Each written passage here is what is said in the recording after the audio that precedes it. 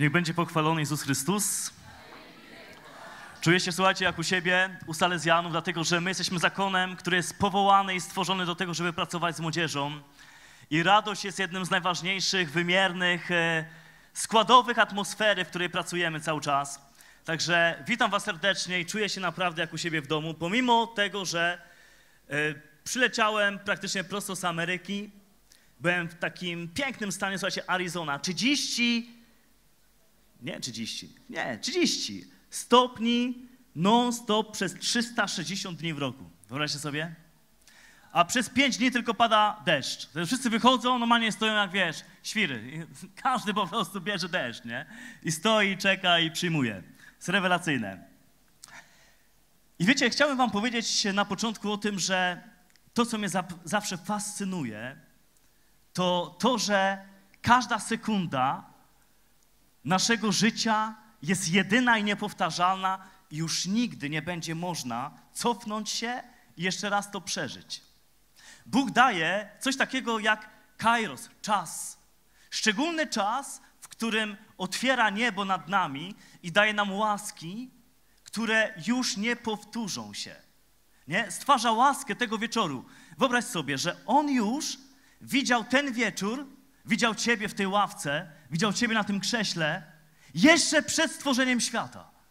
Fascynuje mnie to. Widział ten wieczór i Ciebie w tej ławce i przygotował specjalną łaskę dla Ciebie tego wieczoru. Jaka to jest łaska, nie wiem. Ale przygotował specjalną łaskę dla Ciebie, dlatego że On zachowuje się tak, jakbyś był jedynym człowiekiem na tej planecie. Jedynym. On nie mówi do tłumu, on mówi do ciebie konkretnego na tym krześle. I wiecie, chciałbym otworzyć właśnie tą refleksją ten wieczór, ponieważ wierzę bardzo mocno, że jeśli powiesz tak tej łasce, wyjdziesz innym człowiekiem. Wiecie, całe moje życie było związane ze wschodnimi sztukami walki. Rzeczywiście to była pasja mojego życia. Moi mistrzowie mówili, że się urodziłem dla sztuk walki i umrę dla sztuk walki. To była moja naprawdę obsesja. Trenowałem trzy razy dziennie. Często trening nocny. Przez 15 lat. Wszystko podporządkowałem tej pasji. Wszystko. Wiecie, trenowanie sztuki walki w tym wymiarze, w jakim ja trenowałem, to nie jest kwestia tylko chodzenia sobie na treningi. To jest kwestia całkowitej transformacji wojownika dalekowschodnich sztuk walki. Sposób, w jaki siedzisz, poruszasz się, wstajesz, otwierasz drzwi, wchodzisz do samochodu, do autobusu. Rozumiesz? Wszystko jest podporządkowane temu, żebyś w każdej chwili był gotowy na stoczenie walki na śmierć i życie. 24 H na dobę świadomość tego, że w każdej chwili jesteś gotowy do stoczenia walki na śmierć i życie. Pewnych rzeczy nie reflektowałem do końca z tego względu, że teraz z perspektywy czasu to jest dla mnie żenujące. Ale wtedy mnie to jarało. Kiedy uświadomiłem na przykład sobie to, że nie ma we mnie żadnych barier przed zabiciem człowieka. Nie ma żadnych barier przed zabiciem człowieka. Kiedy widziałem różnego rodzaju przemoc, bardzo brutalną i okrutną, uświadomiłem sobie, że mnie to w ogóle nie rusza już. Ale mówię, wtedy mnie to jarało, wiesz? Teraz patrzę na to i jestem przerażony, w jaką transformację wchodzi mój umysł. Ale wtedy mi to bardzo imponowało, że zmieniam się w kogoś, kto jest tak bezwzględnie stalowy w umyśle, który wzbudza lęk i strach u innych, który wzbudza przerażenie. Wiecie, moja mama poroniła pierwszą ciążę. I kiedy począłem się ja, ona bardzo bała się, że mogę się nie urodzić. Z tego względu, że od początku praktycznie ciąży były różnego rodzaju komplikacje. Także moja mama prawie całą ciążę przeleżała w szpitalu. Okazało się, że w jakiś dziwny sposób pępowina owinęła mi się wokół szyi I lekarze nie wiedzieli, co zrobić, nawet w kontekście cesarskiego cięcia, ponieważ każdy najmniejszy mój ruch powodował to, że pępowina zaciskała się na mojej szyi i praktycznie bym się udusił. Moja mama wtedy bardzo mocno, gorąco z całego serca modliła się do Maryi, oddając całe moje życie jej. Powiedziała: Weź go sobie, on jest Twój. Proszę Cię tylko, żeby się urodził, żeby żył. I wiecie, w momencie moich urodzin, w jakiś zdumiewający sposób, ta pępowina pękła, także bez żadnego problemu urodziłem się. Od początku Maryja przejęła całe moje życie, chociaż ja byłem tego nieświadomy. Przez to, że moja mama dała jej autorytet oddaniem mnie jej w swoim łonie. Wiecie, potem uświadamiałem sobie pewne rzeczy, które są dla mnie szokujące.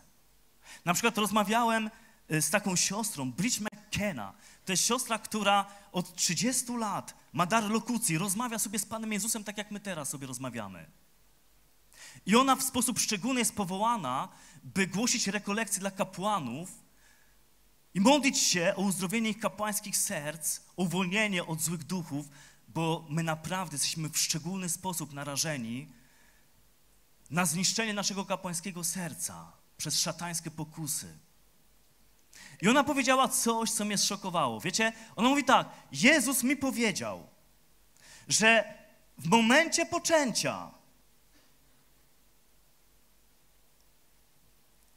ten malutki człowieczek, który z przeznaczenia Bożego ma być księdzem, jest inny, inaczej wygląda w świecie niewidzialnym niż każdy inny poczęty człowiek. I w tym momencie, kiedy piekło na przykład widzi, że poczyna się przyszły kapłan, robi wszystko, żeby nie dopuścić do jego urodzin. A potem zrobi wszystko, jeśli się uda i urodzi się, żeby go odciągnąć od powołania, żeby nie został kapłanem. Jest nieprawdopodobne. Wiecie, teraz, kiedy na przykład odkryto e, biografię, e, napisano i odkryto to, że matka Karola Wojtyły od początku praktycznie ciąży była przez swojego lekarza, który ją prowadził, namawiana do tego, żeby zabiła swoje dziecko, ponieważ komplikacje były takie, że ona by nie przeżyła narodzin swojego dziecka. I lekarz ją przez kilka miesięcy cały czas namawiał do aborcji. Rozumiesz? Co diabeł widział w tym małym człowieczku w łonie mamy, że tak się wściekł, że lekarz przez kilka miesięcy namawiał ją do zabicia swojego dziecka. Myślę sobie na przykład o moim znajomym, księdzu, który opowiada mi tak, słuchaj, nie wiedziałem o tym, dowiedziałem się dopiero później. Moja mama, to były czasy powojenne, wielki głód, bieda. I kiedy zaszła w kolejną ciążę ze mną, uświadomiła sobie, że nie są w stanie wykarmić mnie, nie są w stanie poradzić sobie i zaczęła specjalnie prowokować poronienie. Przeciążała się w pracy, nawet upadała na brzuch, żeby wywołać poronienie. Robiła praktycznie wszystko i nic, i nic. I pomimo wszystko się urodziłem. Dowiedziałem się dopiero zupełnie później o tym fakcie. Został księdzem. Jest wspaniałym kapłanem, wspaniale ewangelizuje, z wielką mocą, z wielkim namaszczeniem. Pytam się, co diabeł widział w łonie jego mamy, że robił wszystko, żeby on się nie urodził. Rozumiecie? Powołanie kapłańskie, najwspanialsze powołanie. Nie ma piękniejszego i wspanialszego powołania, jak powołanie do bycia drugim Jezusem Chrystusem. Jego najbliższym przyjacielem na całą wieczność. Jest nieprawdopodobne. I wiecie, kiedy urodziłem się i wszedłem potem z biegiem czasu w tą moją pasję ona stała się absolutnie wszystkim w moim życiu. Ale moi rodzice byli bardzo wierzącymi. Byli animatorami, moderatorami ruchu Światło Życia, oazy rodzin. Ja widziałem, jak oni każdego wieczoru modlą się razem, a potem zapraszają nas i modliliśmy się zawsze dziesiątką Różańca Świętego całą rodziną, każdego wieczoru. Potem przepraszaliśmy się za wszystko i potem rodzice nas błogosławili i tak szliśmy spać. Ja sobie na przykład nie uświadamiałem pewnej rzeczy, że coś jest nie tak, że potrafię na przykład w swoim pokoju, który wygląda jak dojo, czyli sala ćwiczeń, przez godzinę medytować dzen bez żadnego problemu, a szedłem na pięć minut dziesiątki różańca w totalnych rozproszeniach, strasznie mnie to wkurzało. I mówię, co jest? Pięć minut modlitwy z takimi problemami, a za chwilę godzina medytacji w całkowitej ciszy na metody dalekowschodnią i nie ma problemu. Wtedy wydawało mi się, że sztuki walki, wschodnia wizja rzeczywistości, chrześcijaństwo można połączyć, że to są te same rzeczy. Dopiero później zobaczyłem, że to jest coś zupełnie innego. Są dwie różne drogi. Patrzyłem na przykład na mojego tatę, który wstawał codziennie rano o 5 czy 5.30 i modlił się, oddając całe swoje życie Bogu. Potem szedł na siódmą na mszę świętą i potem szedł do pracy. Ja w tym czasie wstawałem też w swoim pokoju, codziennie o 5, o 5.30 trenowałem przez półtorej godziny. Tylko, że ja zawierzałem swoje życie samemu sobie. Ja uwalniałem, wiesz, olbrzyma w sobie. Ja budowałem totalną wiarę w samego siebie. Chciałem być panem kontrolującym całkowicie swoje życie. Mój tata w pokoju obok zawierzał całe swoje życie Bogu. Dwie różne drogi. Na początku to się wydaje, że wszystko jest to samo, ale im głębiej wchodzisz, okazuje się, że to nie jest to samo. To prowadzi w dwie różne cele, ścieżki. I wiesz, ja byłem ministrantem, byłem lektorem, angażowałem się w oazę, byłem animatorem oazowym, potem w odnowę w Duchu Świętym. Ja nigdy nie miałem problemu z wiarą. Ja kochałem Pana Jezusa. Chciałem angażować się, wiesz, w ewangelizację. Ale było coś, czego nie potrafiłem do końca zrozumieć. Ja nie byłem do końca u siebie. Wiesz, to jest takie wrażenie, jakbyś w nie tych torach jechał ze swoim życiem. Że idziesz, jedziesz, biegniesz nawet w swoim życiu, ale obok tego, co jest dla ciebie przeznaczone. Robisz różnych full rzeczy. Robisz różnych full fajnych zajęć, wiesz, i z pasją, zainteresowaniem, hobby rozwijasz każdego dnia samego siebie. Ale masz wrażenie, które jest wręcz przekonaniem, kiedy masz chwilę ciszy, kiedy jesteś sam sobą, że biegniesz obok. Że to nie jest to. I wtedy mój znajomy ksiądz, który prowadził grupę, w której uczestniczyłem, zaproponował wyjazd do Medjugorje, do miejsca objawień Matki Bożej. Zawsze interesowałem się duchowością, więc e, byłem sam ciekaw, co to jest za miejsce.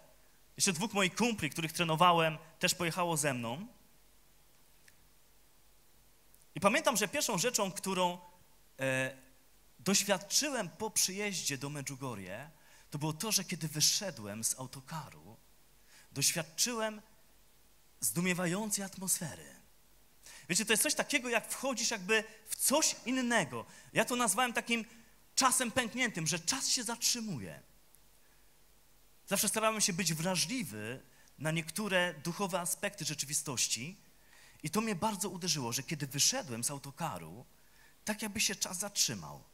Wiecie, potem naukowcy z całego świata robili różnego rodzaju badania tego powietrza w Medjugorje. Doszli tylko do tego, że ono jest jakoś niesamowicie najonizowane, ale nie, no jak mogą stwierdzić naukowcy, że jest to Boża obecność, która jest w tym miejscu w sposób porażający, niesamowity. Potem ten nasz ksiądz poszedł do kościoła i kiedy przyszedł, powiedział, że program będzie wyglądał tak, naszej pielgrzymki, że idziemy do kościoła, jest pierwsza część różańca, druga część różańca, potem jest msza święta, potem jest trzecia część różańca, potem jest modlitwa o uzdrowienie duszy i ciała, a ja sobie obliczam, wie, ile to godzin w kościele i tyle tych różańców. Jak ja dam radę? Jak ja miałem problem z dziesiątką w domu. Ale poszliśmy. Tylko, że wcześniej jeszcze z kumplami na dobrego browarka, bo tam 40 stopni w cieniu. Więc poszliśmy na dobrego, zimnego browarka. Ale wypiliśmy, poczuliśmy się głupio, no bo ludzie w kościele, my tutaj, nie po to przyjechaliśmy. Dobra, poszliśmy do kościoła. I wtedy pamiętam drugie doświadczenie, które było dla mnie również zaskakujące. Mianowicie, że wiesz, tam modlitwa płynie naturalnie z serca. Mówisz jedną dziesiątkę, drugą, trzecią, czwartą, piątą, kolejną zaczynasz część i po prostu czujesz, jakby to płynęło z serca. W ogóle się nie męczysz. To jest niesamowite doświadczenie. Bajka, rewelacja. Chcę więcej tego. Potem msza święta, potem trzecia część różańca. I po wszystkim ten kapłan przyszedł do nas i mówi, że na następny dzień będziemy uczestniczyć w objawieniu Matki Bożej. Ponieważ ona objawia się w wielu miejscach tam, ale szczególnie będzie to objawienie przy niebieskim krzyżu, niejakiemu Iwanowi widzącemu. Nie mogliśmy doczekać się tego objawienia. Ja byłem bardzo sceptyczny do tego typu rzeczy, dlatego że zdawałem sobie sprawę, jak łatwo można wprowadzić ludzi różnego rodzaju psychozę religijną, jak można manipulować uczuciami, jak można manipulować różnymi wydarzeniami, żeby doprowadzać do człowieka do jakiegoś konkretnego celu zamierzonego przez manipulatora. Więc patrzyłem na to z dużym dystansem, ale też z ciekawością. Widzieliśmy jedno, że to objawienie ma być przy niebieskim krzyżu. Matka Boża objawia się na jego tle. Więc z tymi dwoma kumplami, z całą naszą pielgrzymą, ruszyliśmy w stronę tego niebieskiego krzyża. Ale okazało się, że tych ludzi, którzy są tam zaproszeni, którzy wiedzą o tym objawieniu, było kilka tysięcy. Wszyscy, którzy tam byli w tym kościele. Więc ruszyliśmy całą potężną bandą tam, ale oczywiście nie mogliśmy się dopchać, żeby być blisko. Ale co znaczy nie możemy się dopchać? My, Polacy, się nie dopchamy, więc ruszyliśmy tam w trójkę z tymi dwoma kumplami. Ale muszę wam powiedzieć, że wszystkie babki na całym świecie są takie same. Jak tylko wiesz, przepraszam, przepraszam bycie tym różańcem po prostu udusiły. Nieważne, naprawdę, czy są, wiesz, białe, czerwone, fioletowe, zielone, wszystkie babeczki są takie same. Od pewnego wieku, kiedy się modlą i koniec. Nie ma, że boli. Ale się udało. Stanęliśmy w odległości mniej więcej kilku metrów od tego niebieskiego krzyża. Obserwowałem całą scenerię wydarzenia. Wiecie, już był wieczór, gdzieś koło 22.30. Ludzie modlili się na różańcu, śpiewali pieśni, rozwieżone niebo. Zwrócił moją uwagę koleś, który siedział na kamieniu w totalnym skupieniu. Pamiętam jeszcze, jak mówiłem do tych moich kumpli, patrzcie, to jest doskonały dzen. Tak powinniście medytować, w takim skupieniu. Okazało się, że to jest ten widzący Iwan. Patrzyłem więc na niego i w pewnym momencie patrzę, że kolej zrywa się z tego kamienia, klęka, podnosi ręce, patrzy na kogoś i zaczyna mówić. Nie słyszę, co mówi, bo porusza tylko wargami, ale patrzę na jego twarz i jestem zszokowany, bo, bo ta twarz nie była z tego świata. Szczęście, które wymalowywało się na jego twarzy, pokój, radość, łagodność. Wiecie, to, to były takie doświadczenia, które. Wiesz, nagle widzisz kogoś, kto jest kompletnie z innego świata, którego twarz wyraża gesty, słowa, spojrzenie, absolutne szczęście.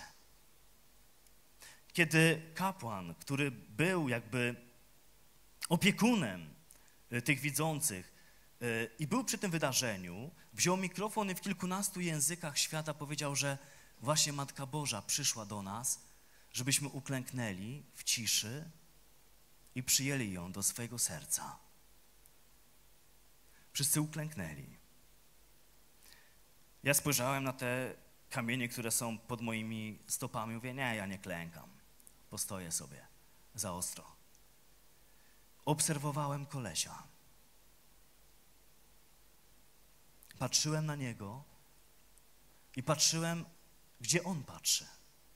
Że tutaj musi ktoś być, 3-4 metry dalej. Tego nie można udać. Coś się dzieje z tym facetem. Wiecie, kiedy oni wpadają w ekstazę, oni byli badani przez wszystkie autorytety medyczne, specjalistów z całego świata. Nie ma ściemy, wpadają w ekstazę. Źródło jest tylko znakiem zapytania. Co lub kto powoduje, że wpadają w ekstazę? Prawa fizyczne są zawieszone w tym momencie. Więc to, że wpadają w ekstazę, jest absolutnym pewnikiem. Obserwowałem to z odległości kilku metrów. I w pewnym momencie poczułem, jak ktoś stanął przy mnie. I objął mnie swoimi ramionami. Ja wiedziałem, że to są ramiona kobiety.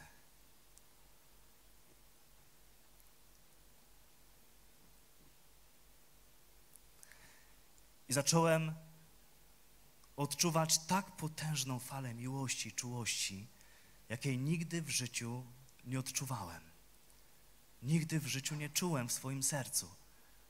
Po prostu to przechodziło przeze mnie jak fala. Miłość, miłość i jeszcze raz miłość. Zacząłem się cały trząść. Łzy płynęły mi po twarzy. Nie słyszałem głosu, ale gdybym zwerbalizował to, co czułem,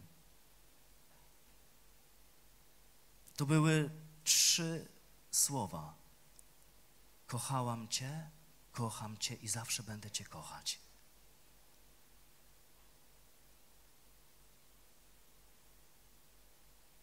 Płakałem całkowitym szczęściu. Ja nigdy, gdybym, słuchajcie, porównał 15 lat doświadczeń duchowych z różnego rodzaju medytacji, do tych kilku minut w czasie objawienia. To jest jak niebo z ziemią porównać. To jest nie do porównania. Trwało to około 10 minut. Kiedy się skończyło, widzący Iwan wziął mikrofon i zaczął opowiadać o tym, co się stało. Powiedział, że Maryja przyszła bardzo szczęśliwa i bardzo radosna. Kiedy zaczął mówić o niej, to mi się kompletnie wywrócił obraz Maryi. Ponieważ wiecie, tradycyjna Maryja to jest ktoś tak eteryczny, tak odległy, tak niedościgły. Wiecie, królowa z berłem w dłoni, z dzieciątkiem na tronie, gdzieś daleko. My mówimy do niej zdrowaśki. Okazało się, że ona wygląda na mniej więcej 17-18 lat, jest nastolatką. Zresztą potem, kiedy zacząłem studiować jej przyjścia na naszą planetę przez całe 2000 lat, wszyscy mówią o niej tak samo. Jest nastolatką. Jest tak śliczna, jest tak piękna, że takiego piękna nie ma na ziemi. Oni mówią, że wpadają w ekstazę nie dlatego, że im się objawia Matka Boża, ale dlatego, jak ona wygląda. Iwan kiedyś powiedział, że gdybyś mógł zobaczyć Maryję przez ułamek sekundy, wszystko przestałoby cię interesować na tej planecie. Ona jest najpiękniejszą dziewczyną wszechświata. Tak młodziutka, tak śliczna. Kiedy się zapytano, dlaczego ty jesteś taka piękna? Ona powiedziała, jestem taka piękna, ponieważ bardzo kocham. Chcecie być tak piękni jak ja, bardzo kochajcie. Wiecie, zaczął opowiadać dalej, że kiedy przyszła, bardzo radosna i bardzo szczęśliwa, zaczęła rozglądać się po tych wszystkich ludzikach, którzy przyszli na to objawienie, wyciągnęła ręce i zaczęła modlić się nad niektórymi osobami. Być może modliła się wtedy nade mną. Jak jeden z licznych kołków stałem zamiast klęczeć. Wyróżniałem się spośród tego tłumu. Modliła się nad chorymi. Potem rozmawiała z Iwanem o grupie modlitewnej, którą prowadził. Później powiem coś więcej o tym. Na końcu odmówiła Ojcze Nasz, chwała Ojcu i w znaku świetlistego krzyża odeszła do nieba. Słuchajcie, to, co się działo po tym objawieniu, to był raj na ziemi. Ludzie padali sobie w ramiona. Nieważne, słuchaj, biały, czarny, fioletowy, zielony, w ciapki, bez ciapek. Po prostu padali sobie w ramiona, płakali, modlili się nad sobą. Słuchajcie, atmosfera takiej miłości, takiego pokoju, jakiego ja nigdy wcześniej nie widziałem wśród ludzi. Myśmy od razu dwa uzdrowienia całkowite w naszym autokarze. Jechała z nami kobieta, która była już wiele lat na wózku inwalidzkim. Zdecydowała się na tą podróż non-stop autokarem, ale praktycznie przez co trzy godziny dostawała zastrzyk ketonalu, żeby móc uśmierzyć ból. Została całkowicie uzdrowiona, wózek został w Medjugorje. Jedna dziewczyna, która od urodzenia y, miała totalnie zniekształcony staw skokowy, także chodziła o dwóch kulach. Ledwo weszła na tą górę, schodziła bez kul, całkowicie uzdrowiona. Otwieraliśmy oczy ze zdumienia. Co się dzieje tutaj? Wiecie, ja cały czas płaczę. Te fale szczęścia przepływają przeze mnie. Ludzie zaczynają schodzić do swoich kwater, do swoich pensjonatów, hoteli. A ja nie mogę się uspokoić.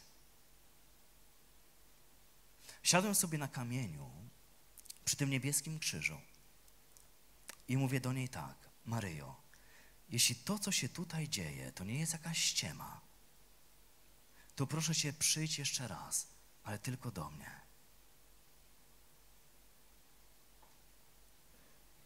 I znowu poczułem, że ktoś koło mnie usiadł. Objął mnie ramieniem i przytulił. I ja znowu beka. I znowu się trzęsę cały. Z nadmiaru szczęścia, rozumiesz? Z nadmiaru szczęścia. Nie mogłem tego pomieścić w sercu. Tego wzruszenia, czułości i miłości, która przepływała od niej do mnie. Wszystko jej wtedy opowiedziałem. Całe moje życie wylałem przed nią. Wszystko ze szczegółami. Mówiłem jej o mojej dziewczynie, o małżeństwie, które gdzieś tam planowaliśmy. Mówiłem jej o tym, że moim największym marzeniem jest wyjechać na Okinawa i tam trenować bojowe systemy karatu u starych mistrzów, że to jest coś, do czego się przygotowuję. Chciałem w kolejnych latach zrealizować to marzenie. Wszystko jej odpowiadałem, wszystko. Siedzieliśmy jak dwoje zakochanych. W końcu przyszli ci moi kumple. Mówią, słuchaj, schodzimy na kwatery, ile można siedzieć tutaj? Ja mówię, stary, no ile tutaj? No z pół godzinki siedzimy. Mówi, nie, zobacz na zegarek. Zobaczyłem, prawie trzecia nad ranem. Czas przestał dla mnie istnieć. Wróciliśmy do pensjonatu. Oni poszli spać. Ja nie mogę zasnąć. Wychodzę na balkon, patrzę w to rozgwieżdżone niebo i mówię, Boże, ona tu gdzieś jest. Nie mogę usnąć. Wziąłem kartkę i długopis zacząłem do niej pisać. Taki pierwszy miłosny list do Maryi. Próbowałem napisać to, co czuję w sercu. Schowałem to do kieszeni. I kolejnego dnia byliśmy u jednej z widzących, Wicki. I ona na końcu powiedziała naszego spotkania, że jeśli ktoś chciałby coś Maryi przekazać, to może napisać i ona wieczorem da tą kartkę Maryi. Więc ja od razu wyciągnąłem z kieszeni mój liścik i dałem tej widzącej. Kiedy przyjechałem do Polski, byłem w stanie totalnego przebudzenia duchowego. Wiecie, przywiozłem sobie taką małą figurkę Matki Bożej. Wypierdzieliłem te wszystkie noże, miecze, nunczaka i tak dalej. Zrobiłem jej ładny ołtarzyk, kupiłem piękne, świeże kwiatuszki w kwiaciarni, położyłem przed i zasuwałem, słuchajcie. Siedziałem przed nią, albo na nią patrzyłem, albo miałem zamknięte oczy. Różańczyk, tych okrążeń to nie wiem, ile robiłem dziennie. Ale kompletnie mnie to nie męczyło. To było coś niesamowitego. Telefon dzwoni. Kumpel z nadmorza. Mówi, słuchaj, gdzie ty jesteś? Ja mówię, co gdzie ja jestem? No w domu jestem. Mówi, przecież od dwóch dni masz prowadzić kurs instruktorski dla czarnych pasów. Czekamy na ciebie. Mówię, o kurczę, zapomniałem, rzeczywiście. Więc kimono do plecaka, jadę nad morze. Rozpoczyna się trening. 30 czarnych pasów stoi ładnie na plaży, gotowi na rozpoczęcie. Ja wychodzę, oni patrzą na mnie, ja na nich. Oni po sobie, ja na nich. I widzę, że jakieś dziwne mety łapią, bo ja do czarnego pasa mam przywiązany różaniec. I mówię tak, panowie, rozpoczynamy trening, żadną medytacją, tylko odmawiamy dziesiątkę różańca. Mam w dupie, wierzysz czy nie wierzysz, odmawiasz ze mną. Oni kurka na mnie. Ruszyliśmy. Dziesiątkę różańca, okazało się, że tam trzy czwarte w ogóle nie zna Maryjo, ale to nie nowina. Pociągnąłem za nich. I tak jak zawsze, na 30 różnych sposobów pokazywałem, jak można kogoś zabić, a potem wyciągnąłem różaniec i mówię, słuchajcie, ale to nie jest najważniejsze. Najważniejsze jest to, żebyś doświadczył, jak Bóg cię kocha, bo wtedy zmienia się wszystko. Oni, co? Ja mówię, dobra, kończymy trening. Zapraszam was na browarka. Poszliśmy na browara. Wiecie, to była piękny taki klimacik, taka wiata w sumie. Złączyliśmy stoły, kupiliśmy po browarku, było nas tam około 20. Ja im opowiadam to, co wam dzisiaj opowiadam. Wysłuchajcie, wiem, że możecie mieć takie przeświadczenie, że ktoś mi wyprał mózg. Ale znacie mnie od lat i wiecie, że nie dam się łatwo zmanipulować. I chcę wam powiedzieć, co takiego się stało, co wywróciło moje życie do góry nogami. I słuchali. I po raz pierwszy w życiu zaczęliśmy rozmawiać o rzeczach spoza sztuk walki. Jeden kolo mówi na przykład, którego dobrze znałem. Programy robił w telewizji na temat jogi i zajebistych owoców siedzenia w kwiecie lotosu. Harmonii z otoczeniem, ze wszechświatem, samym sobą, swoim pępkiem. I wiecie, sprzedawał te ściemy na zewnątrz, a ja wiedziałem, że ma strasznie porypaną rodzinę. Trzecia kochanka. Dzieci, które nie chcą go znać. Alkoholik. Ale na zewnątrz harmonia ze wszechświatem total. Słucham następnego. Mówi, słuchaj, wiesz co? Zazdroszczę ci tego, jak żyjesz. Zazdroszczę ci tego doświadczenia. Chciałbym coś takiego jak ty przeżyć. I słucham, słuchajcie, tych głosów i przychodzi mi natchnienie do serca. Mówię, słuchajcie, to zróbmy tak. Pomodlimy się teraz, żeby każdy z nas doświadczył tego samego. No, gdzie? Tu? No, tu. Jak? Przy browarze? A znasz lepszą atmosferę? Wyluzowania i relaksu? No. Słuchajcie, mówię, wstajemy. Pierwszy raz takie coś robiłem. Leciałem na żywca. Mówię, dobra, to może klękniemy. To klękniemy.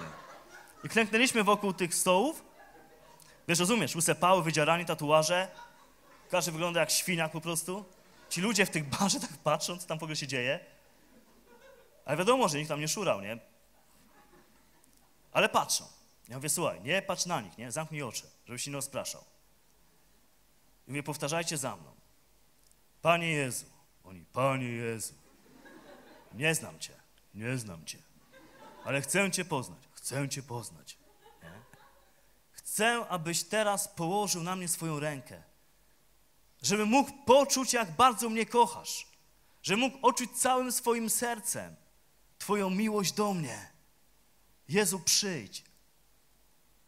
I słuchajcie, ciągnąłem tą modlitwę, mieliśmy oczy zamknięte. Kiedy otworzyłem swoje oczy, była totalna cisza. Patrzę na tych chłopaków, ukradkiem wycierających łzy, głowa w dół i żaden z nich nie musiał mi mówić, że coś szczególnego teraz przeżywa. Wiesz, ja widziałem tych chłopaków w walce. Ja widziałem ze złamanymi nogami. I widziałem, że łezki wtedy nie uronił. A przy takiej modlitwie jeden czy drugi płakał jak dziecko. Tak był doświadczany Bożą miłością przez ręce Maryi.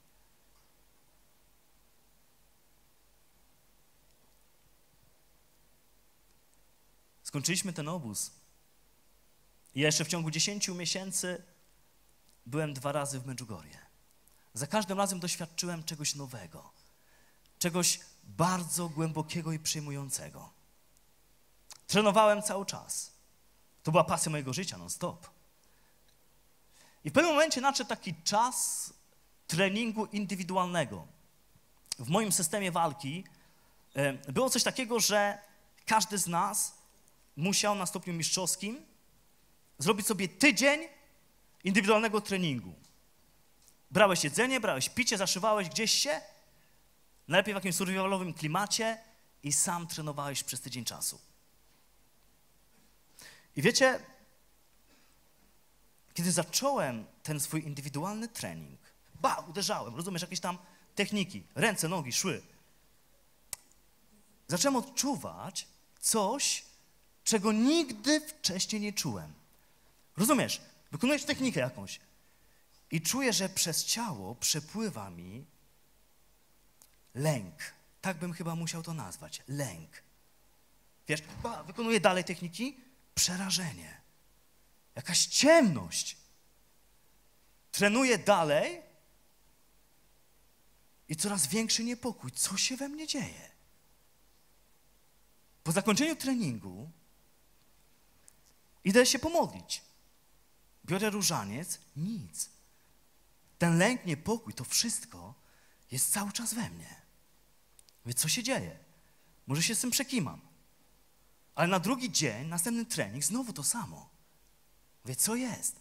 I tracę dosłownie z dnia na dzień cały ten pokój, radość, przepełnienie Bożą obecnością, którą nosiłem w sobie. Wie, co jest? I wtedy pamiętam, że biegłem brzegiem plaży i zobaczyłem klasztor sióstr benedyktynek w Żarnowcu. Tutaj obok, w Żarnowcu. Przybiegłem do tego klasztoru, zapukałem do furty, otwiera siostra. Mówię, siostro, potrzebuję porozmawiać z jakąś mądrą siostrą. Najlepiej najmądrzejszą w waszym klasztorze. Ona tak na mnie spojrzała. Okej. Okay. Przyszła matka przełożona. Zaczęliśmy rozmawiać, tak jakbyśmy się znali od zawsze. Matka Jolanta, uosobienie miłości, matczynej troski, opieki, która wypływała dosłownie z jej spojrzenia, gestu, uśmiechu, dotyku. Słuchajcie, to tak jakbyś, wiesz, jakbyś po prostu był u mamy w domu, nie? Nieprawdopodobne. Otworzyłem jej serce od razu. Wszystko jej opowiadałem. Ona słuchała. Nie wiedziałem, że jest obdarzona wieloma charyzmatami. I kiedy skończyłem, ona mówi tak, Dominiczku, mówi, Maryja ma dla ciebie wspaniały plan, ale tym, co cię od niej odgradza, jest sztuka walki, jaką trenujesz i w sposób, jaki trenujesz. Nie możesz żyć 24 H na dobę gotowy do stoczenia walki na śmierć i życie. Nie możesz nieustannie budować swojej agresji, wściekłości, nienawiści w technikach walki. Nie możesz w ten sposób, a równocześnie otwierać się na Ducha Świętego, na Ducha miłości, radości, pokoju, mocy, która nie jest tego świata. Albo wierzysz w siebie i ufasz sobie albo gromadzisz ludzką moc, albo wierzysz i ufasz Bogu i napełniasz się Jego mocą. Nie można tych dwóch rzeczy połączyć. Wtedy podjąłem decyzję. Walczyłem jeszcze z tym kilka dni, ale podjąłem decyzję, że dla niej to zrobię. Zostawiam pasję mojego życia, aby pójść w nieznane aby zaryzykować, rzucenie się w przepaść przygody, do której ona mnie zaprasza.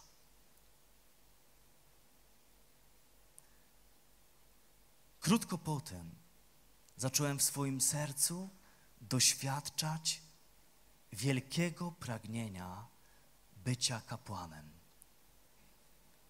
Sobie o tym pomyślę, jak mnie księża wpieniali zawsze.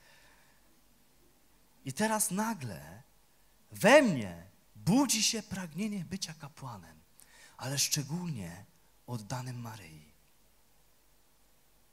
I wstąpiłem do zgromadzenia salezjańskiego, dlatego że salezjanie w sposób szczególny ujmują mnie miłością do młodzieży i stylem bycia z młodzieżą. Bez żadnego dystansu, z sercem na dłoni. Chciałem być tak jak oni. Chciałem być tak jak ksiądz Bosko, założyciel Salezjanów. I wiecie, tak rozpoczyna się na dobrą sprawę moja historia, bo ona będzie trwać całą wieczność, tak jak i historia każdego z Was. Ale to, co chcę Wam zostawić w tej pierwszej części, to to, że jesteśmy dziećmi wieczności. Zanim Bóg stworzył świat, wymarzył sobie już Ciebie w swoim sercu. Dokładnie wymarzył. Zaprojektował. Ukochał. I przeznaczył do bardzo konkretnej misji, którą masz wykonać na tej planecie. Misji, jeśli ją odkryjesz, która da ci maksymalne szczęście, w której przyniesiesz owoc stukrotny. Wielu ludzi nie rozumie tego. Wielu ludzi nie poddaje swojego życia Bogu i nie rozeznaje swojego przeznaczenia. I dlatego ma wrażenie, tak jak ja w tamtym czasie, że szedłem i realizowałem siebie i różnego rodzaju fajne rzeczy w moim życiu, ale czułem się, jakbym był obok. Niektórzy są jeszcze bardziej odlegli od swojego przeznaczenia. I nawet kochają Boga. I nawet mają z nim relacje. I nawet robią różne fajne rzeczy. Ale nie są w stanie przynosić owocu stukrotnego, tylko na przykład trzydziestokrotny. Ze względu na to, że coś lub ktoś ich blokuje przed wejściem w stukrotny owoc. Dla mnie była to sztuka walki która była absolutną pasją mojego życia. Ja musiałem to zostawić, żeby powiedzieć tak powołaniu kapłańskiemu. Gdybym trenował w dalszym ciągu, tak jak trenowałem, obsesyjnie, z pasją, to była number one, najważniejsza rzecz w moim życiu. Nigdy bym się nie zdecydował na to, żeby zostać kapłanem. Nie miałbym siły żeby te dwie rzeczy spróbować realizować razem. Wiecie, nie możesz służyć Bogu i mamonie. Nie możesz służyć czemuś, co jest wyższe dla ciebie w twoim sercu niż Bóg. Bo prędzej czy później przyjdzie przekleństwo. Jesteśmy tego wieczoru, aby uświadomić sobie, że jesteśmy powołani do zwycięstwa, stworzeni do zwycięstwa. Naszym zwycięstwem jest zbawienie. Biegniemy tutaj na tej planecie po to, żeby zdobyć zbawienie. Nic innego się nie liczy.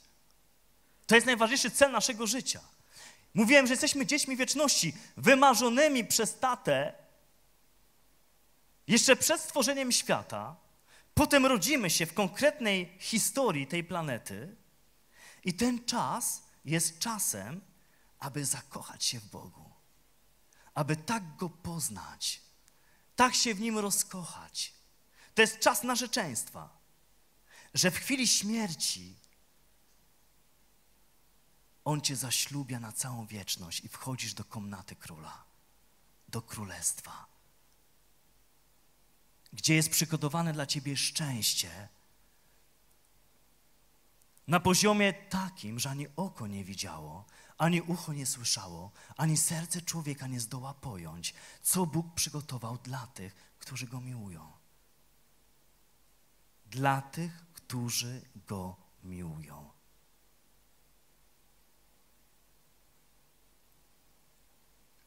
Dlaczego tylu z nas nie jest szczęśliwych? Dlaczego tylu z nas nie zwycięża we wszystkich walkach i bitwach swojego życia? Dlatego, że ktoś lub coś jest dla ciebie ważniejsze niż on.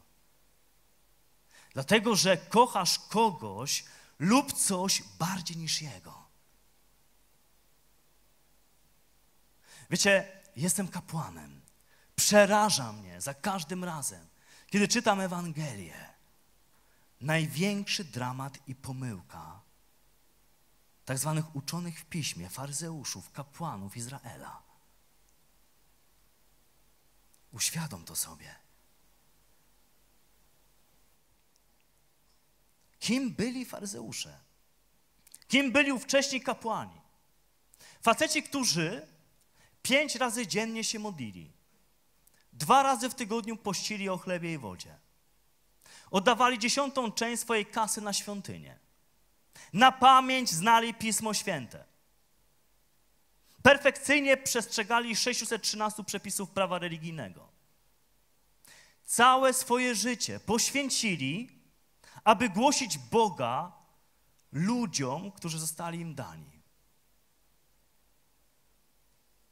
I kiedy ten Bóg pojawił się w ich życiu, nie rozpoznali go, odrzucili, znienawidzili i na samym końcu zabili. Wyobrażasz sobie większą pomyłkę swojego życia? Przecież Jezusa zabili najbardziej religijni ludzie. Kapłani zabili Jezusa. Zabili Boga, któremu poświęcili całe swoje życie. Wyobrażasz to sobie? Jak można się pomylić? Ilu ludzi chodzi co niedzielę do kościoła? Ilu ludzi mówi pacierz rano i wieczorem? I w piątek zamiast mięska jedzą rybkę. I mają piekło w domu, piekło w małżeństwie, piekło w relacjach. Dlaczego? Bo nie chcą zapłacić ceny za to, co najważniejsze. A to dopiero dajmy szczęście we wszystkim. Kiedy właśnie ci kapłani, mistrzowie rytuałów religijnych, przychodzą do Jezusa i pytają go, Powiedz, co jest najważniejsze w życiu? Czy Jezus mówi, najważniejsze w życiu to jest to, żebyś znał kilka języków, miał fajny, dobry samochód, świetną pracę, przystojnego męża, przepiękną żonę, wspaniałe, wykształcone dzieci, żebyś mógł sobie pozwolić na wszystko. Tak Jezus mówi? Tak mówi Bóg, który Ciebie stworzył? Czy mówi tak, najważniejsze, najważniejsze to żebyś kochał Boga z całego serca, ze wszystkich sił, z całej duszy i z całej swojej mocy, a bliźniego swego jak siebie samego. Nie ma nic ważniejszego. Rozumiesz? Dopiero od tego poziomu zaczyna się chrześcijaństwo. Nie od paciorkowania rano czy wieczorem. Nie od wypełniania obowiązku niedzielnej Eucharystii. Nie od kupowania rybki w piątek. Chrześcijaństwo zaczyna się od zakochania się w Bogu, na poziomie kochania Go z całego serca, ze wszystkich sił, z całej duszy z całej swojej mocy. Co to znaczy, że ja nie mam się modlić, to jest złe? Nie mam chodzić do kościoła, to jest złe? Nie mam posić w piątek, to jest złe? Nie, to jest świetne, to jest dobre. Ale jeśli to jest dodatek do Twojego życia, to wpadniesz w faryzeizm. Jeśli nie przeżywasz całym sobą Jezusa w Eucharystii, jeśli nie przeżywasz całym sobą Jego obecności na Twojej indywidualnej modlitwie, jeśli nie wchodzisz w post, aby złamać swoje grzechy, aby to naprawdę Cię bolało i kosztowało, to jesteś na poziomie zewnętrznych praktyk, które nie mają siły i mocy na zmianę Twojego życia i możesz pomylić się tak jak faryzeusze. Całe życie myślisz, że jesteś człowiekiem wierzącym, praktykującym, ale Twoje życie pokazuje, że nie ma zmian. Nie ma przemiany. Wiecie, Święty Paweł mówi w pewnym momencie w jednym ze swoich listów, że duch antychrysta będzie polegał między innymi na tym, że ludzie będą mieli pozorną pobożność, ale wyrzekną się mocy przemiany życia. To jest zdumiewające. Tak często widzę to u ludzi. Pozornie pobożnych, ale nie mają mocy zmieniającą ich życie. Byliście kiedyś zakochani? Ręka do góry, kto z was był? Dobra, i tak nie widzę, bo tu mi wali w oczy, ale myślę, że połowa przynajmniej. Wiecie, jak to jest? Kiedy jesteś zakochany? Kiedy wiesz, nie możesz spać, nie możesz jeść? Kiedy cały czas patrzysz, wiesz, na telefon, jest SMS-ik czy nie? Jest od niego, jest, o kurczę. Znacie to dziewczyny? Trzy zdania ci napisze, nie? A ty to sto razy czytasz i próbujesz wyciągnąć jak najwięcej, co on czuje teraz, jak to pisał, w tym każdym słowie, zdaniu. Kocha, nie kocha, bardzo kocha, mniej kocha, co on chciał mi powiedzieć przez te... I wiesz, i studiujesz go, kurka, od rana do wieczora, ten SMS. Kiedy gadacie z sobą, nie możesz przestać się nagadać. Kiedy idziesz na studia, siedzisz na wykładach, a twoje serce jest przy nim. Rozumiesz? Kiedy jedziesz samochodem, wrzucasz jakąś romantyczną piosenkę i wyobraź sobie, że jedziecie razem obok siebie, trzymacie się za ręce, w ogóle jest the best. Nie możesz jeść, nie możesz spać, bo ciągle myślisz o tym, w kim jesteś zakochana.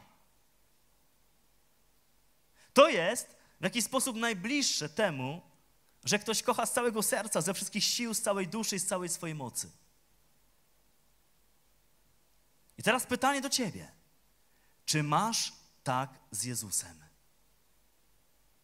Czy masz tak z Jezusem? Bo kiedy On mówi, że najważniejsze to jest kochać Go z całego serca, ze wszystkich sił, z całej duszy i z całej swojej mocy, to mówi o takim zakochaniu, o takiej namiętności. Ja myślę, że w ogóle słowo namiętność, ono pięknie pokazuje to, co jest istotą relacji naszej z Bogiem. Ta relacja musi być namiętną miłością.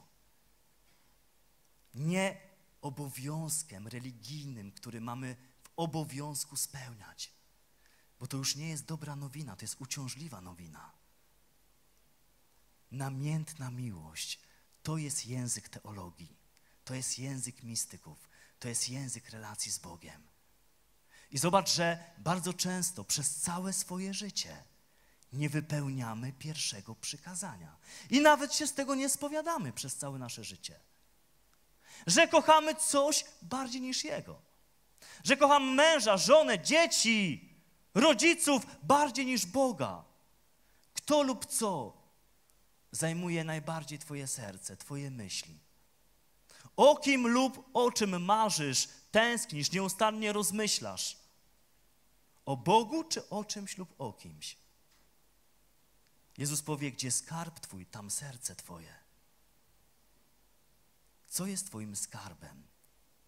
Co jest na tronie Twojego serca? Dla mnie przez wiele lat była sztuka walki. Teraz walczę cały czas z tym potwornym kimś, którego nazywam egoistą. Bo to ja teraz chcę być ciągle na tronie mojego życia. I to ja muszę walczyć z tym, żeby nie zakochać się sam w sobie. Z całego serca, ze wszystkich sił, z całej duszy z całej swojej mocy. A dla ciebie? Słuchajcie, gdybyśmy zapytali Adama i Ewę, kiedy byli w raju, co jest dla ciebie najważniejsze w życiu? Powiedzieliby dokładnie tak jak Jezus. Dla nas najważniejsze to jest kochać Boga z całego serca. Od Niego płynie cała moja miłość, bezpieczeństwo, sens mojego życia z relacji z Nim. Po grzechu pierworodnym jest tutaj potężna czarna dziura. Po grzechu pierworodnym już nie odczuwam tej miłości, którą mieli nasi pierwsi rodzice w raju. I ta czarna dziura woła i krzyczy: Chcę być kochanym. Kochaj mnie.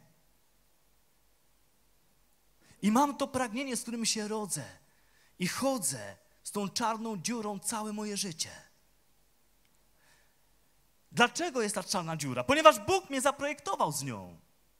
To On zaprojektował mnie do tej miłości, do której mnie stworzył. Do kochania Go z całego serca, ze wszystkich sił, z całej duszy i z całej swojej mocy. Ale mi się nie chce budować z Nim codziennie takiej relacji. Mam tysiąc rzeczy innych, ważniejszych, którym chcę poświęcić swój czas. A dopiero o 22 czy o 23 na wpół śpiąco, klęknę i paciorek zmówię. Ludzie mówią, księże, ja nie mam czasu na modlitwę, mam tyle rzeczy na głowie.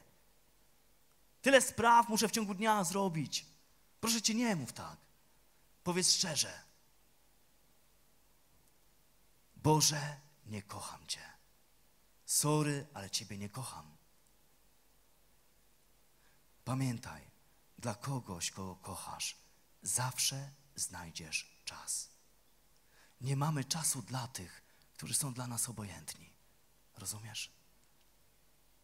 Posłuchaj, masz full rzeczy na głowie, nie? A dzwoni na przykład twoja najlepsza przyjaciółka, bo twój najlepszy przyjaciel akurat, wiesz, e, leci, nie wiem, z Ameryki do Rosji i zatrzymuje się na lotnisku w Gdańsku i będzie trzy godziny. Dzisiaj wieczorem. Ale ty masz full rzeczy, ale to jest twój wspaniały, najlepszy przyjaciel, najlepsza przyjaciółka. Co mu powiesz? Sorry, wiesz, ale dzisiaj nie mam za bardzo czasu, bo jest 666 odcinek M jak miłość i muszę go obejrzeć, wiesz o tym. Sorry, nie mam czasu, bo wiesz, bo teraz po prostu nie mam takiej potrzeby, żeby się z tobą spotkać. Nie mam czasu, wiesz, bo może kiedyś indziej, wiesz, bo jest Liga Mistrzów, ty. Real gra z Barceloną. Muszę to obejrzeć. Najwyżej, wiesz co, po meczu jest dzwonimy się na 5 minut, co? I mi tam powiesz, o co chodzi. Co słychać? Nie wiem, papież Franciszek do ciebie dzwoni. Chcę z tobą dzisiaj zjeść kolację. Tu mówisz, sorry papieżu, ale idę na dyskę. Sorry, ale muszę posiedzieć na fejsie, bo muszę zobaczyć w ogóle, co tam się wydarzyło dzisiaj. Może kiedyś indziej. Zrobiłbyś tak? Dla swojego przyjaciela najlepszego? Dla papieża, który chce z tobą zjeść kolację? Zrobiłbyś wszystko, żeby tak ułożyć plan dnia, tak wszystko zmienić, żeby te trzy godziny być twoim ulubionym przyjacielem. Żeby te trzy godziny poświęcić na kolację z papieżem. A kim jest papież?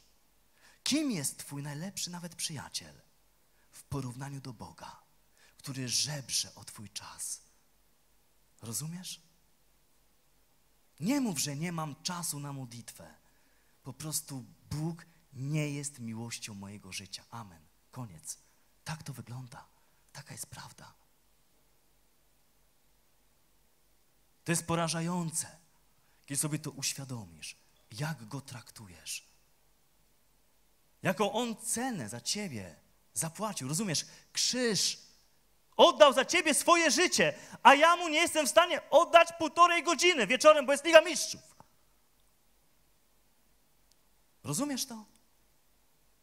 Że tu o to idzie gra.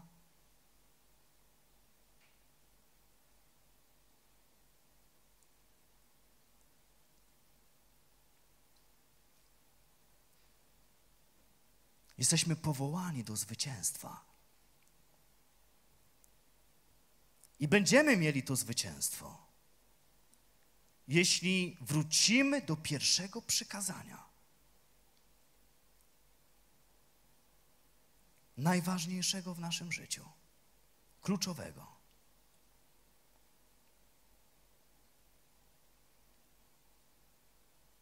Słuchaj, poproszę Ciebie i Ciebie i Ciebie. Chodźcie tutaj do mnie. Chodźcie na scenę.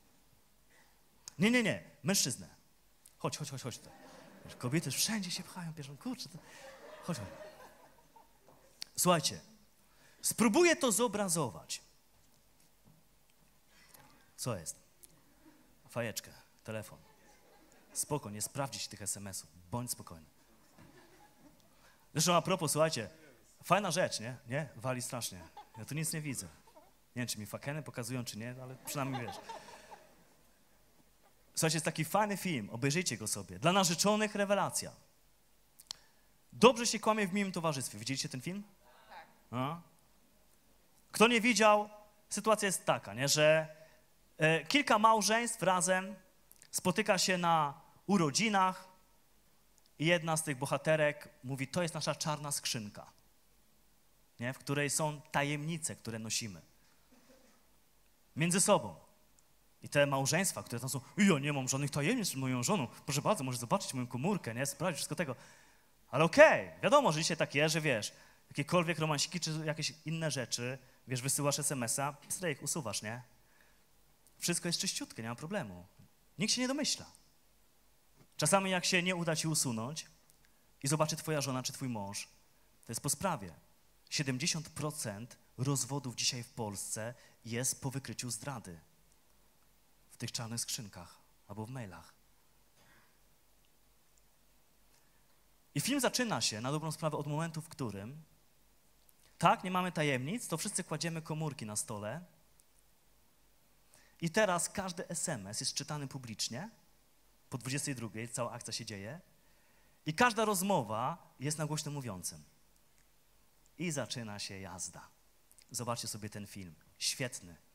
Świetny w kontekście pokazania, jak manipulujemy, udając miłość, oddanie, czarujemy tych, których kochamy, a tak naprawdę prowadzimy podwójne życie. Ale chcę Wam pokazać coś bardzo ważnego.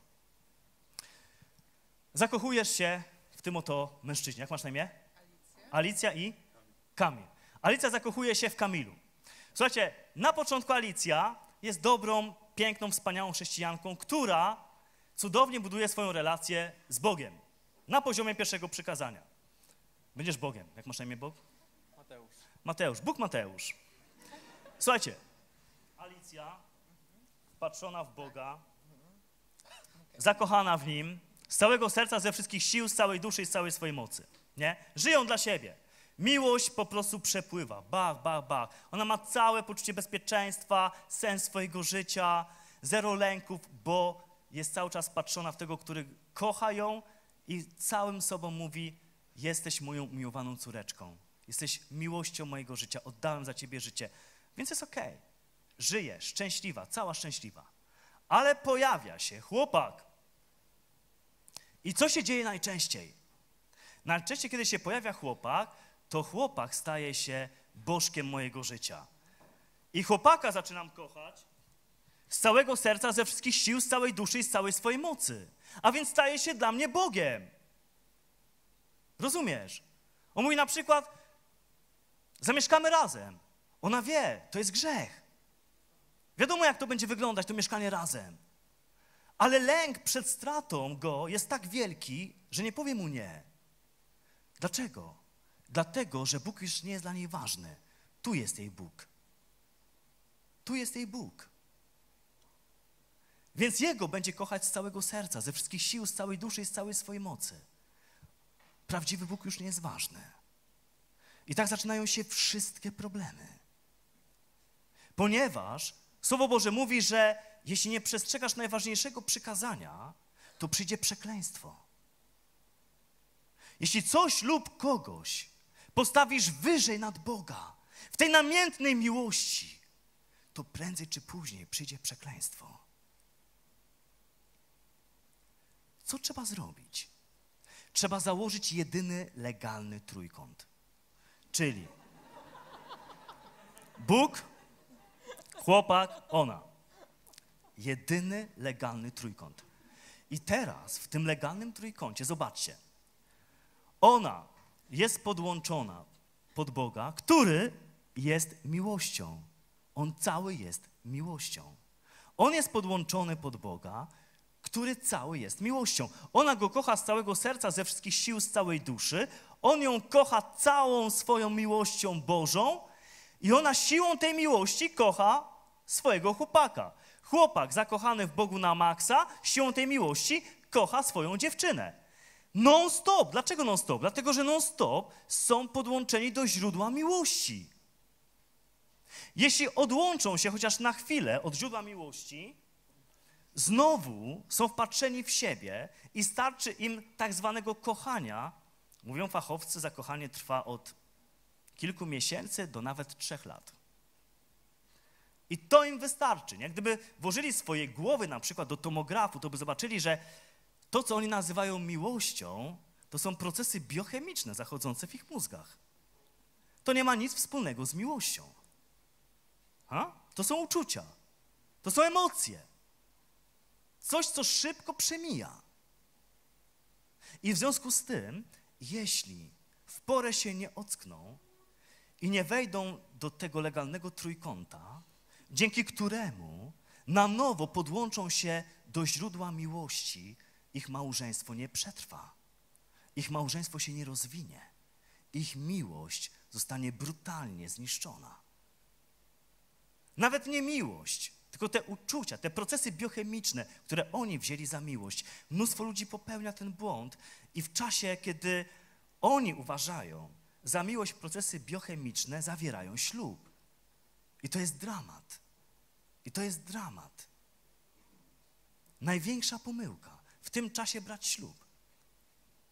I słuchajcie, jeśli oni są podłączeni do miłości, która jest, nie ma tutaj krzyża, która jest miłością z krzyża, czyli miłości, która daje moc, aby ofiarować swoje życie za swojego nieprzyjaciela nawet, przebaczać swojemu największemu wrogowi, który ciebie krzyżuje, który chce cię zabić swoim grzechem, wadami, charakterem wstrętnym.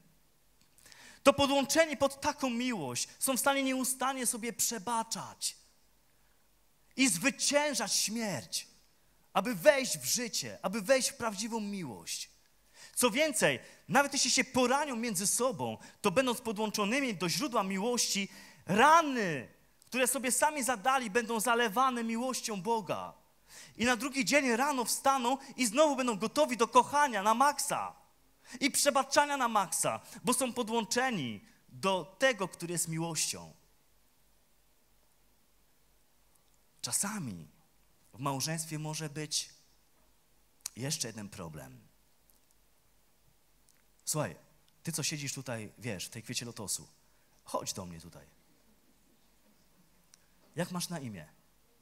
Janina. Będziesz Janinka dzieckiem, dobra? Patrzcie. Może być inne niebezpieczeństwo. Wskakuj Janinka tutaj, na górę. Może być inne niebezpieczeństwo. Legalny trójkąt trwa. Ale w pewnym momencie pojawia się dziecko. Janinka. I uwaga. Janinka, kusnij sobie ładnie. Dasz radę? Dobra. Weź za dwie rączki. I teraz dla mamy Janinka staje się bożkiem. Janinka ma całe jej serce. To Janinka jest kochana przez mamę z całego serca, ze wszystkich sił, z całej duszy, z całej swojej mocy. Janinka jest wszystkim. Bóg out, mąż out. Teraz Janinka jest tym, który jest sensem mojego życia. To ona daje mi wszystko to, za czym pragnie moje serce. I tak dalej, i tak dalej. Ona staje się wszystkim. Przychodzi przekleństwo bo znowu dziecko staje się ważniejsze niż Bóg. Bóg tego tak nie zaplanował. On stworzył nas do relacji, gdzie On jest najważniejszy. Potem mąż, a dopiero potem dziecko. Jeśli nie przestrzegamy tych zasad, wejdziemy w nieszczęście. Nie będziemy zwycięzcami w naszym małżeństwie i w rodzinie. Co więcej, w takiej sytuacji, którą ona usprawiedliwia jako wielką miłość, a tak naprawdę, kiedy ona jest dla niej najważniejsza, to nie żadna miłość, tylko rozpoczyna się cały mechanizm osaczania, kontroli, manipulacji. Ten dzieciak jest zaduszony. Wiecie, my mamy Salezjanie, prowadzimy domy wychowawcze dla chłopaków z ulicy. Wiecie, co mnie najbardziej zdumiewało kiedyś?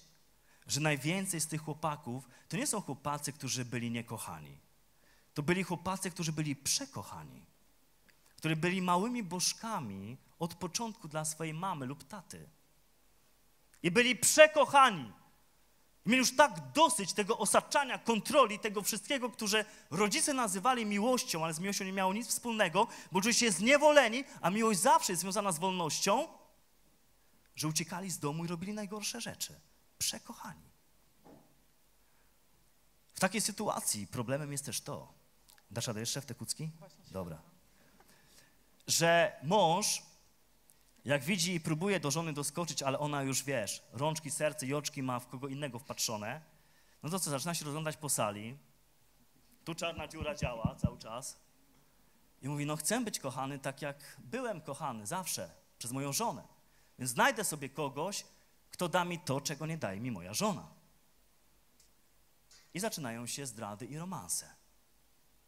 Natomiast kiedy wrócimy znowu do legalnego trójkąta, Janinka jest w środku, to zobaczcie, to dziecko jest wychowywane cały czas w przepływie tej niesamowitej miłości, która kocha, przebacza, dojrzewa na maksa i rośnie dzięki podłączeniu do źródła miłości. I dziecko już nie jest zniewolone rękami mamy. Dziecko już nie jest osaczone, nie jest kontrolowane i manipulowane przez rodzica. To dziecko może spokojnie, w wolności dojrzewać. Wstawaj teraz. O, widzisz, jak dojrzewasz ładnie? Jak szybko, że dojrzała w tej miłości? Rozumiecie, o co chodzi? Cały czas otaczana przez miłość. Wolna w środku, w centrum tej miłości, w sercu tej miłości może dojrzewać. Dopiero kiedy jesteś samodzielny, zaczynasz odkrywać swoją tożsamość, możesz zacząć dojrzewać do tego, kim jesteś, do Twojego przeznaczenia. Jeśli ktoś Tobą manipuluje, osacza, kontroluje, nigdy nie osiągniesz swojej dojrzałości i tożsamości, do której zostałeś stworzony. Dzięki, słuchajcie. Brawa, oklaski dla naszych aktorów.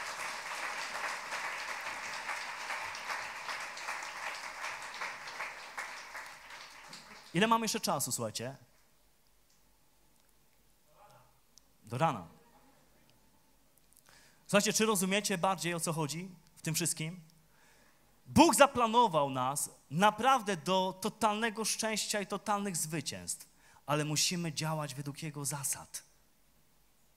I walka o relację z Nim na poziomie kochania Go z całego serca, ze wszystkich sił, z całej duszy i z całej swojej mocy, to jest najcięższa walka każdego dnia do stoczenia przez nasze serce, przez nasze pragnienia, przez naszą wolę. Rozumiesz? Ci, którzy ją wygrali, nazywamy świętymi. Czyli są tak przepełnieni Bożą obecnością, do tego są tak szczęśliwi już tu na ziemi, że w chwili śmierci mają jednego małżonka, który otwiera ramiona i zaślubia ich na całą wieczność. I pragnienia, i tęsknoty w sercu zostają urzeczywistnione w ramionach ukochanego. W królewskiej komnacie. Rozumiecie?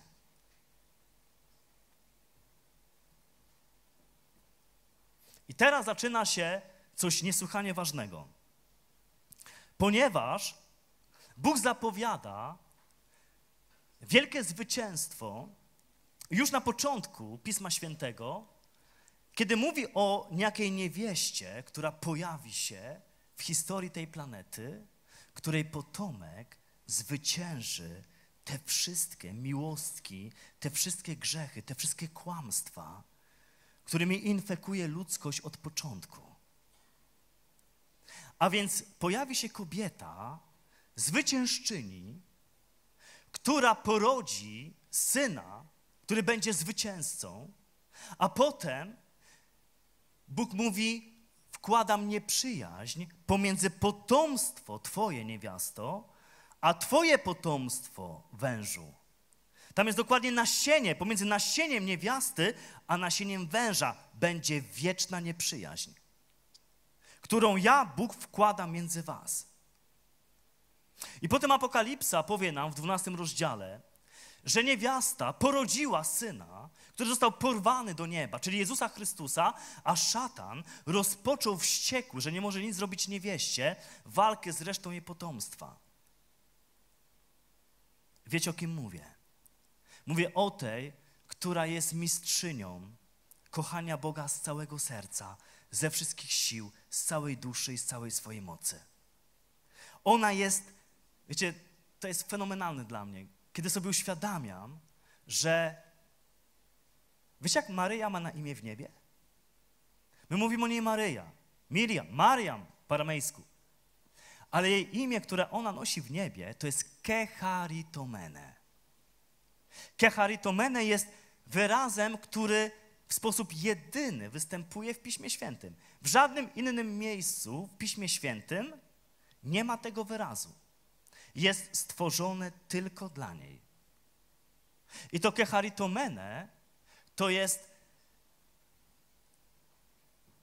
rzeczownik, a konkretnie imię słów czasu przeszłego dokonanego. Oznacza po polsku pełna łaski.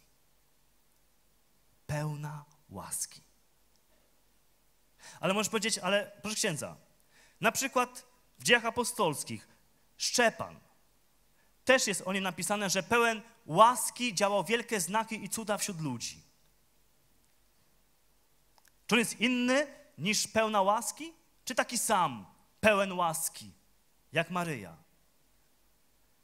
Dlatego właśnie ważne jest studiowanie języków biblijnych, szczególnie starożytnych. Bo w naszym tłumaczeniu jest pełna łaski Maryja i pełen łaski Szczepan. Ale Maryja jest kecharitomene, jedyna w swoim rodzaju. A Szczepan, pleres charito, to jest zupełnie inny wyraz. Pomimo tego, że tutaj pisze pełna łaski i tu pisze pełen łaski. Dlaczego to jest tak ważne? Ponieważ zobaczcie, to jest dziewczyna, która jest rajem Boga. Bóg stworzył sobie ją, aby całkowicie się jej oddać. Ona od początku, od poczęcia jest pełna łaski, czyli jest bez grzechu. Kiedy Gabriel przychodzi do niej i mówi, raduj się, hajre kecharitomene, to mówi, jesteś pełna łaski od początku. To jest fenomenalne. W tej dziewczynce nie ma żadnego grzechu. Jest pełna łaski. Pierwsza pięćdziesiątnica, pierwsze wylanie Ducha Świętego uczyniło z niej niepokalaną, bez grzechu. Bez grzechu poczętą. Drugie wylanie Ducha Świętego na nią, druga pięćdziesiątnica, była tak potężna, że kiedy Duch Święty stąpił na nią, w efekcie zjednoczenia się jej z Duchem Świętym, fizycznie począł się w niej Bóg, rozumiesz? Na apostołów wieczerniku, jak wstępował Duch Święty, nie doszło do fizycznego poczęcia Boga w nich. Ona jest tak zjednoczona w tym drugim wylaniu Ducha Świętego, że efektem jest poczęcie fizyczne Boga. Nikt nigdy nie był tak zjednoczony z Duchem Świętym, żeby w wyniku tego zjednoczenia fizycznie poczuł się w nim Bóg. Święty Łukasz, przekazując słowa Gabriela, mówi o tym, że Duch Święty stąpi na ciebie i moc Najwyższego osłoni cię. Duch Święty okryje ją. Tam jest użyte słowo episkiadzein, którym święty Łukasz nawiązuje do Starego Testamentu, gdzie obok chwały okrył Arkę Przymierza. A więc Maryja jest Arką Przymierza. Wiecie dobrze o tym, że to był najświętszy przedmiot Izraela. Zaginął przed niewolą babilońską. Nie chcieli Izraelici, żeby wpadł w ręce Babilończyków, więc ukryli Arkę w niedostępnych górach. Ale potem, kiedy niewola babilońska się skończyła, już Arki nie znaleźli. Już Arki nie znaleźli, dlatego, że sekret ukrycia Arki kapłani zabrali do grobu.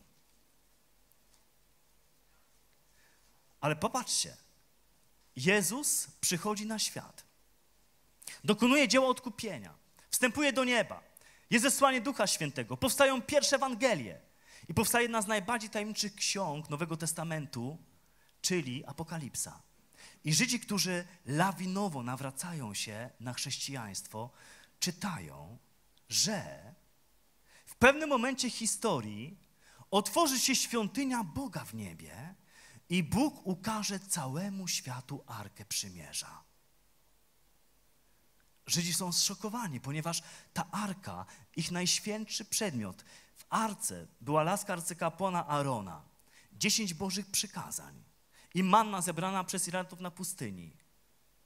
Ta arka czytają Żydzi dalej, która zaginęła, odnalazła się w niebie.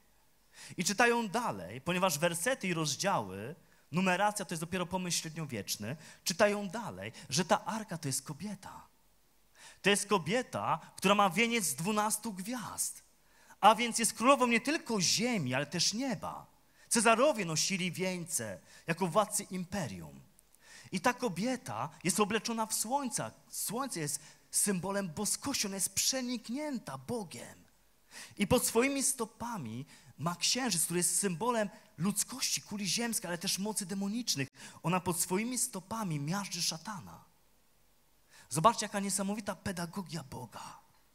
Pozwolił, aby tamta arka, najświętszy przedmiot Izraela, została ukryta i nigdy się już nie odnalazła, ponieważ ona zapowiadała tylko tą jedną, jedyną, najwspanialszą arkę, która pojawiła się na świecie, Maryję, Matkę Jezusa, bo przecież to ona w swoim łonie nosiła najwyższego arcykapłana Jezusa Chrystusa, który nie tylko, że wypełnił doskonale dziesięć Bożych przykazań, ale ustanowił nowe, wieczne przymierze pomiędzy ludźmi a Bogiem na górze Kalwarii i zostawił siebie jako pokarm, mannę eucharystyczną, dającą życie wieczne przez wszystkie dni, aż do skończenia świata, w każdym tabernakulum, na każdej Eucharystii.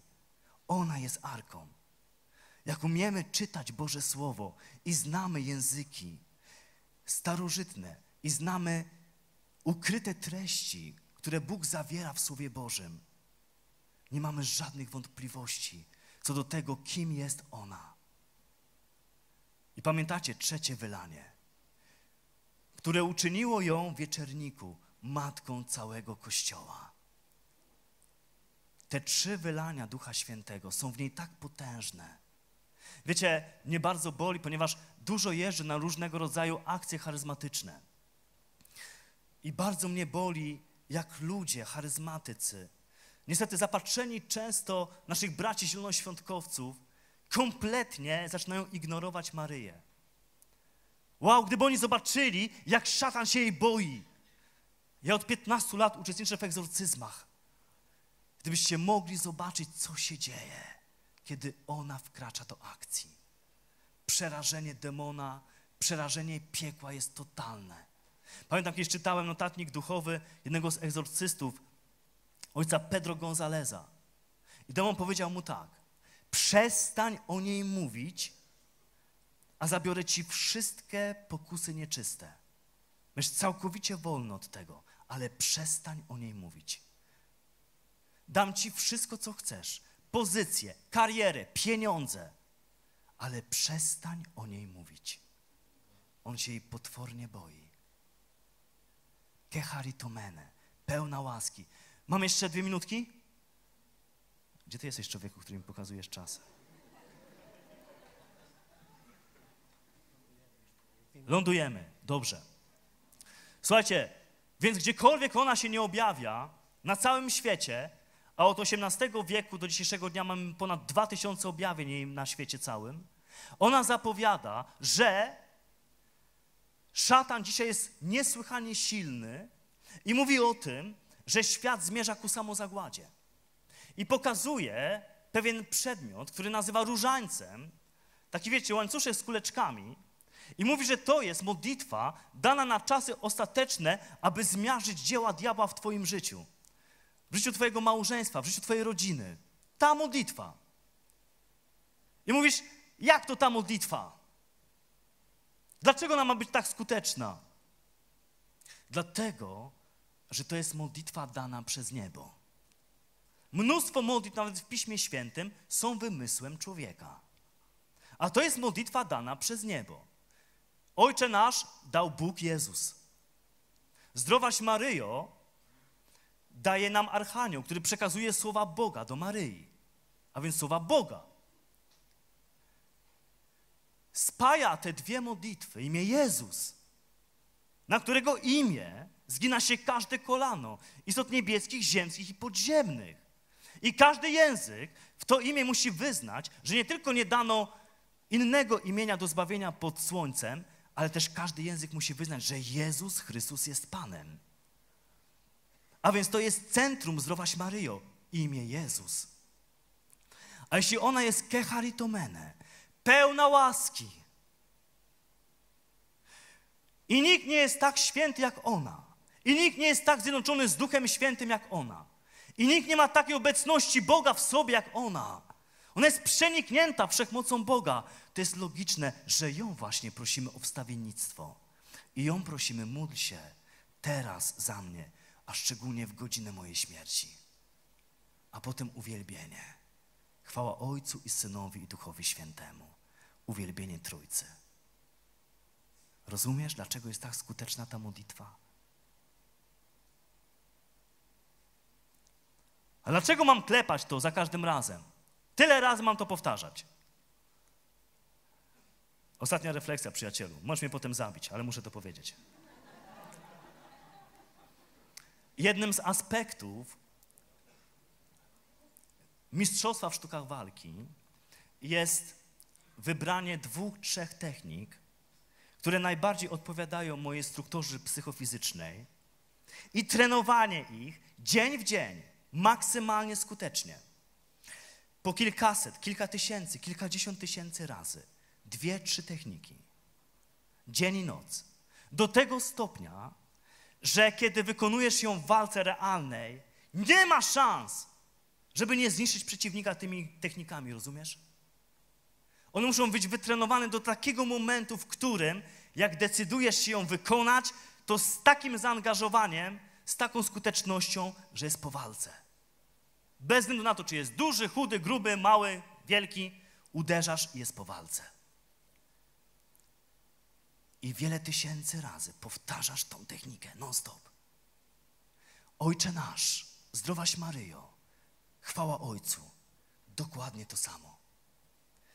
Powtarzasz nieustannie te trzy modlitwy, angażując maksymalnie swoje serce. Z największą wiarą, nadzieją i miłością wkładasz w każdy wyraz całe swoje serce z maksymalnym zaangażowaniem. Do tego momentu, w którym Ojcze nasz, zdrowaś Mario, chwała Ojcu, staje się tak skuteczne, mówisz to z takim zaangażowaniem, że diabeł jest znakautowany, rozumiesz? Kiedy ty otwierasz usta, bo doprowadziłeś te trzy modlitwy do takiej skuteczności, że jesteś cały w tych modlitwach z maksymalną wiarą, nadzieją i miłością. Jest knockout. Rozumiesz?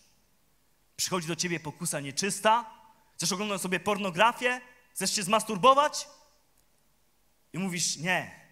Ojcze nasz, któryś jest w niebie, święć imię Twoje i knockout. I diabeł odchodzi, sorry. Nie jestem w stanie się przetrzeć. Chcesz się napić? Po raz kolejny wrócić z pracy pijany? Ciągnie cię to, jest silniejsze od ciebie? Wiesz, jak żona będzie płakała? Wiesz, jak będą przeżywały twoje dzieci? Ale trenujesz zdrowaś Maryjo. Pokusa przychodzi, a ty zdrowaś Maryjo, łaski pełna, Pan z tobą. Całe serce, cała wiara, cała nadzieja, cała miłość w każde słowo. Knockout. Diabeł odchodzi. Nie może się przebić przez twoją modlitwę. Rozumiesz? Dlatego różaniec jest tak skuteczny. Dlatego powtarzanie, nie klepanie paciorka, powtarzanie z maksymalnym zaangażowaniem. Kiedyś mówiłem wam, bracie, już mnie zabijasz, ja wiem, ale to jeszcze muszę powiedzieć. Kiedyś mówiłem wam o tym, że powiem wam jeszcze o tej grupie modlitewnej, tego widzącego Iwana. Matka Boża poprosiła, żeby 40 osób ustanowiło taką grupę modlitewną, którą ona będzie prowadzić. Chciała ich uczyć modlitwy sercem. Wyglądało to tak, że szli na miejsce objawień, na przykład wieczorem, 22, Matka Boża przychodzi i przez widzących uczy ich, jak się modlić. Mówi, zaczynamy od Ojcze Nasz. Więc wszyscy odmawiają Ojcze Nasz. Matka Boża mówi, z jeszcze większym zaangażowaniem. Więc oni drugi raz, Ojcze Nasz. Z jeszcze większą wiarą. Oni trzeci raz. Z jeszcze większą nadzieją, miłością. Zaangażujcie maksymalnie swoje serce. Uświadomcie sobie, do kogo mówisz, kto przed tobą stoi, kto cię słucha. I wiesz, i tak oni powtarzają, nie? Ojcze nasz. I w pewnym momencie Matka Boża aż klasnęła w dłonie i mówi, teraz ta modlitwa wyszła prosto z serca i każde słowo było prosto z serca. I aż zatańczyła z radości. Problem polegał na tym, że była czwarta nad ranem. Rozumiesz? O taką modlitwę chodzi Bogu, a nie o klepanie paciorku, kiedy myślami i sercem jestem zupełnie gdzieś indziej. Dzieci, zostawiam was z tym. Zostawiam was z tym przekonaniem, że kiedy zamieszkacie w Kecharitomene, zamieszkacie w pełnej łaski, poświęcicie się niepokalanemu jej sercu, jej serce uczynicie waszym domem, to będziecie zanurzeni 24 h na dobę w pełnię łask, którą jest ona. Oddychasz każdą łaską, którą jest ona. Różaniec, wylanie Ducha Świętego w tajemnicach radosnych, bolesnych, światła, chwalebnych. Odmawiasz cały różaniec codziennie, jesteś zanurzony w pełni łask przez tą modlitwę, którą ona wyprasza dla ciebie. Szatan, jeśli to zrozumiesz, naprawdę się będzie ciebie bał. Będzie nienawidził twojej kieszeni, w której jest różaniec. A jak zobaczy, że wkładasz do niej rękę, to przeknie bardzo brzydko i powie: Nic już tu po mnie. Muszę spływać. Amen.